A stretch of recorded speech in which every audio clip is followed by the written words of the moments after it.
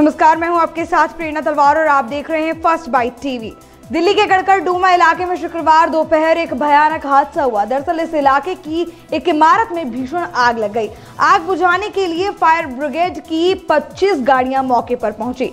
इस बात से आप अंदाज़ा लगा सकते हैं कि यह आग कितनी भयानक तरीके से इलाके में फैलती गई। फ़िलहाल इस घटना पे काबू पाया जा चुका है और इसमें किसी के हताहत होने की सूचना नहीं मिली है। आग दिल्ली के स्वास्थ्य सेना महानिदेशालय की इमारत में लगी। यह हादसा दोपहर एक बज के बीस मिनट के आसपास हुआ। आग बुझाने के लिए दमकल विभाग के 60 कर्मचारी अभी भी जुटे हुए हैं।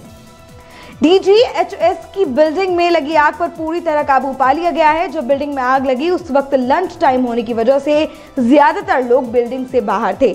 या बाहर जाने की तैयारी कर रहे थे। इस बिल्डिंग में दो इमरजेंसी गेट होने की वजह से लोग सुरक्षित बाहर निकल गए। इतने बड़े हादसे में किसी भी शख्स को नुकसान नहीं पहुँचा है। फ़िलहाल इजाज़त दीजिए, फिर से लौटेंगे इस खबर से जुड़ी और भी अपडेट्स को लेकर। नमस्कार।